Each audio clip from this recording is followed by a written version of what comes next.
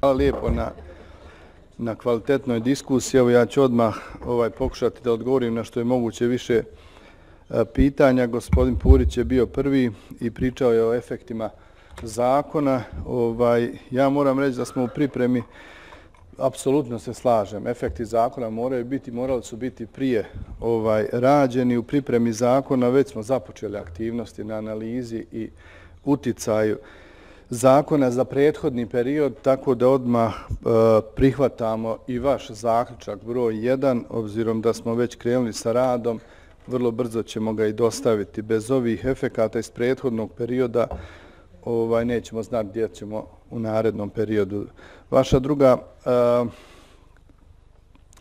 sugestija je bila vezano za doprinose za PIO i zakon koji je već devet godina nije ugledao svjetlo dana i programi za uvezivanje staža, što je povezano i sa prijedlogom vašeg drugog zaključka. Ja bih ovdje samo napomenuo, ne da se ne slažemo sa zaključkom, nego se ovaj, ovaj program već provodi. Evo, u ovoj godini je izdvojeno već 5 miliona KM-ova koji a, se troše za ovu namjenu uvezivanja staža, tako da ne vidim možda priliku da se ovaj, ovaj zaključak uvodi, da se iznalaze mogućnosti, jer to već i traje i ova godina. I naravno nemamo ništa primjedbu da se ojača dodatno zaključkom, ali samo je informacija evo, za vas da se to već radi. Gospodin Raguž je govorio o utrošku sredstava iz finansijske konsolidacije. Ako ovaj, se nismo dobro razumijeli, nigdje se nikakva sredstva eh, ne prikupljaju kad je ova finansijska konsolidacija u pitanju, pa nema ni zakonske ovaj obaveze da se ona troše, a pogotovo da se neka namjena za njih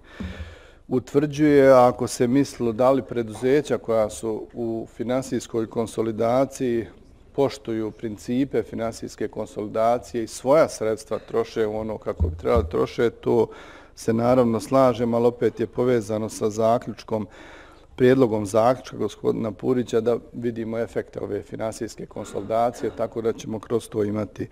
Pitali ste i za rudarski sektor, ja bih mogao ovdje sad danima pričati šta smo zatekli kad je rudarski sektor u pitanju i mislim da je to jedna od najvećih sramota za naš elektroenergetski sektor koji treba da nam bude baza razvoja i sigurnosti snadbijevanja električne energije za ovaj naš prostor ovdje, kupovina uglja od privatnih lica i slične stvari.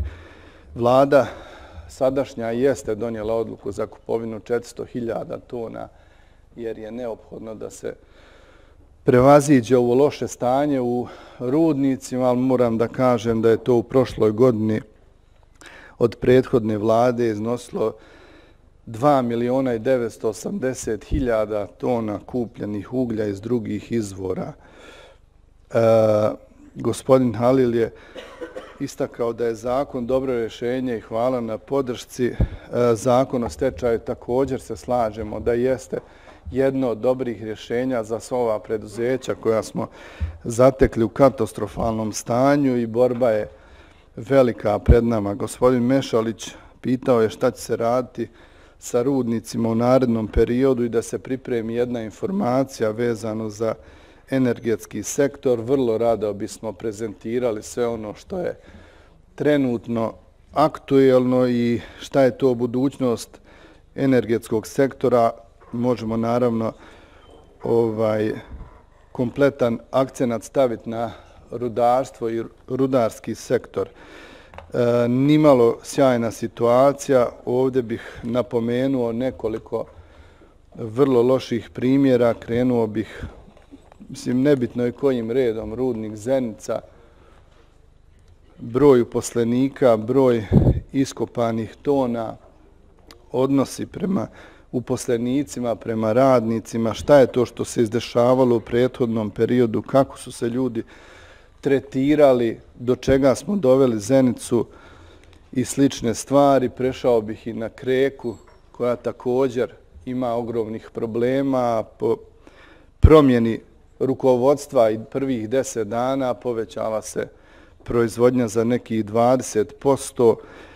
E, zanavljanje opreme katastrofalno. Ovaj, e, pripremni radovi za kopanje ruda katastrofalni u prethodnom periodu. E, ne govorim ja ovo da bih istakao e, loše stvari, nego da za naredni period budemo svi spremni da posvetimo dužnu pažnju pravednoj tranziciji i ona po nekima možda treba da krene u narednom periodu. Ja mislim da je trebala krenuti prije par godina. Blok 7 u Tuzli i slične stvari se više ne trebaju dešavati. Kakav god da ishod bio, neka to odluči ko treba da odluči. Gospodin Čavalić je pitao za zrak i šta se dešava sa uposlenicima. Još jedno od preduzeća koje smo zatekli u stečaju 11.4. i otvoren stečajni postupak. Uspjeli smo da vratimo od 49-30 radnika. Napravili smo im ugovore, rade, dobijaju avanse, isporučuju, sretni su zbog toga. Ostalih 20, evo, i ekskluzivna informacija, ćemo staviti u druga preduzeća namjenske industrije i njih, spremi, njih na neki način obezbijeti sa prihodima i to će se vrlo brzo desiti, možda čak u idućoj sedmici, tako da će svi uposlenici zraka ponovo imati radnu knjižicu i rad i svoju platu.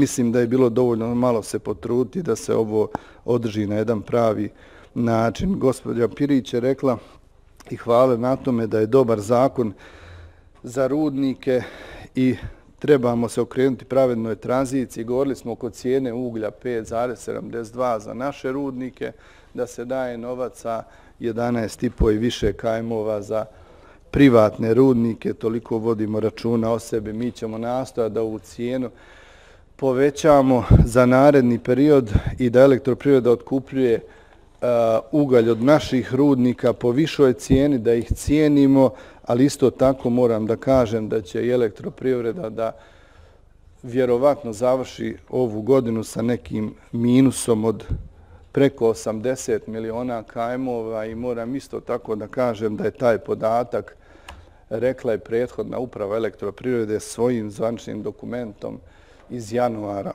ove godine, pardon, E, povećavao se broj poslenika loši pripremni radovi, sve ono što se dešavalo za naredni period, ne mora ovo biti problem za naredni period, ali će sigurno biti dobra prilika. Pravedna tranzicija je već krenula, ministarstvo vodi desetine razgovora sa međunarodnim organizacijama, pripremamo i kredit Svjetske banke za dva ili tri rudnika da ih pokušamo spasti, privesti na jedan optimalni nivo za naredni period, ali isto tako da na površinama u okviru tih rudnika koje se neće koristiti da pretvorimo u drugu namjenu i da imamo malo veću korist od svega ovoga. Nikad ne bih ostavio termoelektrane po strani, da ni nije bilo u ovom periodu ukrajinske krize. Sigurno ni ovi naši privrednici ne bi imali ovoliko dobar izvoz zbog ulazne cijene proizvoda zbog niske cijene koštanja